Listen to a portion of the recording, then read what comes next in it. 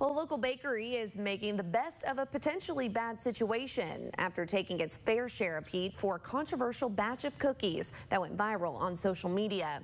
Josh Hoggard spoke with the general manager at Margie, Margie's Bakery and Deli this afternoon. So, Josh, what exactly made this post so big? So, Carney, it apparently all started with five sugar cookies with frosting spelling MAGA, the abbreviation for the phrase Make America Great Again, adopted by former President Donald Trump's supporters.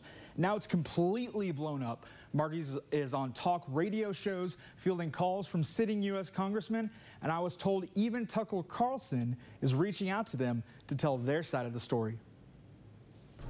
The past 48 hours have been a whirlwind for Margie's Bakery and Deli and their general manager, Andrew Morrow, all thanks to a batch of cookies with MAGA on the top. Michael, the owner, was like, you gotta take a picture and post them. With today's political climate, especially when it comes to social media, Morrow said he was hesitant, aware of the backlash they might receive. We knew there would probably be some negative. We know how divisive this world can be. But they'd done the same exact thing with a different themed cookie earlier this month. The beginning of June is Pride Month. We did rainbow cookies. So we thought, what could be the harm? It's a cookie, you know, it's a cookie. And the initial reaction from the community was sweet until someone along the line decided to share that to a global baking page. It blew up within maybe five hours, six hours. And that's when all the sweetness wore off, as people from around the country who've never even been to Wichita Falls started intentionally writing negative reviews about the bakery, full of hate, vulgarity, even false allegations against employees. Content in their reviews that I can't even share. People were figuring out our names,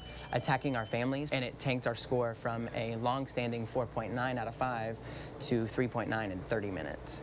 And so we knew we had to remove the post. But the community they've been a part of for more than five decades had their back. They didn't want to see us suffer because of a few, few people that don't even know who we are. Within mere hours, Margie's rating was back up to 4.8, and their sales have quadrupled, with people coming from well beyond Wichita Falls just to buy a MAGA cookie. Yesterday, we made 2,200 uh, MAGA cookies. Today, we're on track to do another 22, if not 24. Morrow was adamant that promoting some political agenda isn't what Margie's is all about. Just because this got more traction than rainbow cookies did, doesn't mean that this is what we are trying to push on people. It's all about meeting the community's demand. If this is what people want and this is what I'm making 2200 of a day, then that's that's what I'm going to make. Morrow's completely blown away by the response to the cookies and he has his city to thank. The entire town came together and said, we're fighting for a place that we love. Taking something bitter and making it a sweet success. We couldn't thank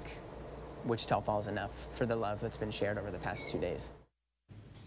Now, if you want one of Margie's MAGA cookies, you can swing by the store on Call Field and McNiel, but be ready to stand in line for a while. And just so you know, Morrow had a lot more to say to his fellow Wichitans in a thank you video that he released today. And you can find that and much more on our website, Texomashomepage.com. All right, Josh, thank you so much for that report. We appreciate it.